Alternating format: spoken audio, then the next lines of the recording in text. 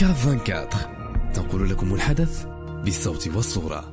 أنا الأم ديال البنت اللي تقتلت في مدينة العرائش في شهر 11 أنا جيت اليوم من طنجة اليوم كان كانت الجلسة. وتأجلت دازت الجلسة السيمانة اللي فاتت وأجلوها كانت اليوم ولاو أجلوها. والمحامية طلبت من طلبت بأن الشاهدة تحضر ورفدوا لها وملك خرج ست شهور خرج دابا تلت شهور باش خرج. وكنشوف الحق ديال بنتي ضاع قتلوا لي بنتي وضيعوها وبحال لي بحال لي قتلوا شي شي حشرة. ودابا كنسمع بان كيقول لك فلسطين فايخرجوا الهضره كدور ايخرجوه ايخرجوه ثم ناس عندهم نفوذ وكنطلب زعما هادشي اللي وقع في المحكمه ابتدائية ما يوقعش في الاستئناف. وكتبت رسالات وكنتمنى يوصلوا المسؤولين.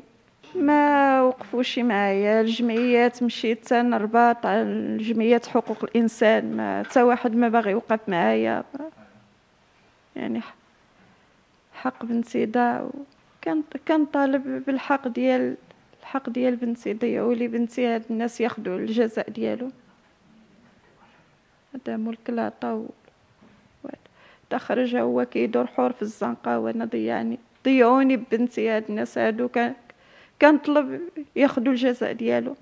أنا بغيت نهضر على واحد المشكل كان وقع في 2020 شهر 11 في خمسة في مدينة العرائش. على أميمة عبايد بنت عمي. كان قتلها واحد خينا بالسناح وكاينين ثلاثة كاينين ثلاثة داخلين في الجريمة. يعني عصابة منظمة. قتلوها قتلوها بالغدار ودابا كنتفاجئوا. يا خرا الشهيدة طلقوها. هذيك ردوها شهيدة. اليوم بغينا تحضر في الجلسة نفضوها. دخلت المحامية ديالنا كتهضر يعني خصها تحضر حتى هي نفضوها قال لك لا. دخلوا الحقوقيين جمعويا نفضوهم. حنا ما بغينا ما ما فهمناش كيفاش هذا هاد القضية. وحكموا عليه ثلاث سنين وعنده قتل العمد. وهالمساطير عندي مصورين. المساطير د بوليس عندي مساطير تكون في المحكمه تلعبوا وعندي المسطرة ديالهم.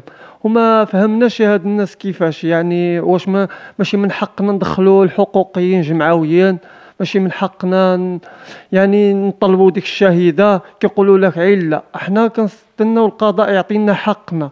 يعني ولا ولا الدولة الحق والقانون. هما ما كيبغاوش كيقول لك لا هادو لا هادو لا. حنا ما فهمناش هاد الناس. وهذا الشيء اللي كاين. تابعونا على مواقع التواصل الاجتماعي. وما تنساوش الاشتراك في قناتنا على يوتيوب وتفعيل الجرس باش يوصلكم كل جديد.